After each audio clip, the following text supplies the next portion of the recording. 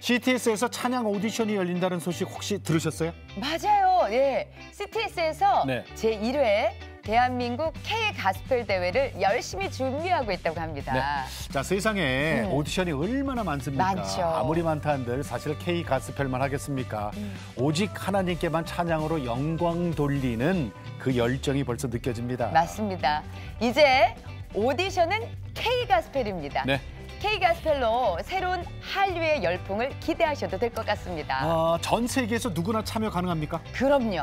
나이 불문, 장르 불문, 국적 불문, 찬양을 좋아하고 찬양을 사모하는 성도라면 네. 누구나 참가할 수 있다고 합니다.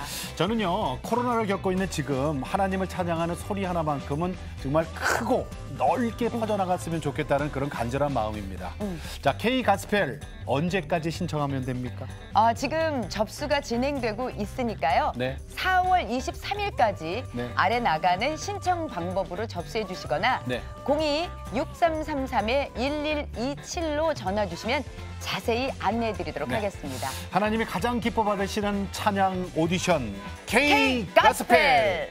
많은 관심과 참여 바랍니다.